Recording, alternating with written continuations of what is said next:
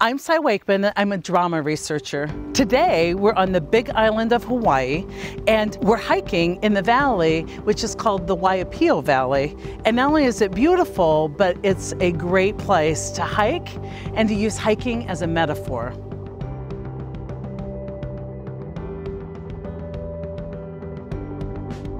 You got to get mentally flexible.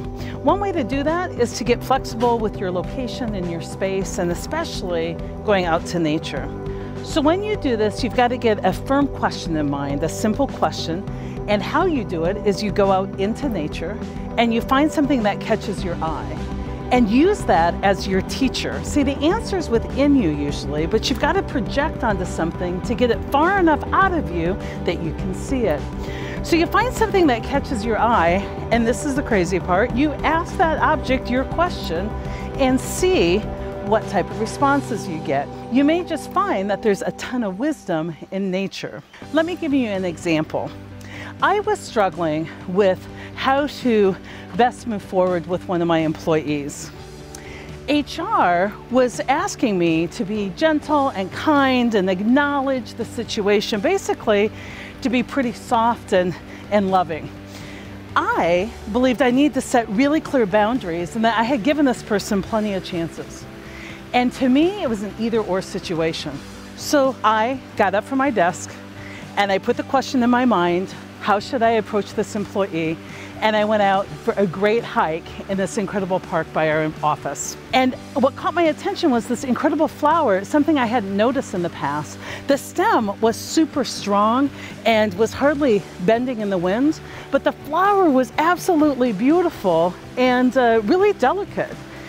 And as I looked at that flower and took the metaphor it was giving me, I got the idea that it wasn't either or, that it could actually be and.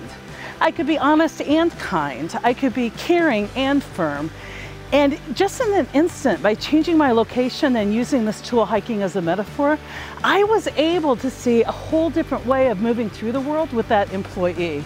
And as I came back into the workplace, it gave me the approach I needed that actually worked quite well. I'm on the big island of Hawaii on this incredible hike, actually the tail end.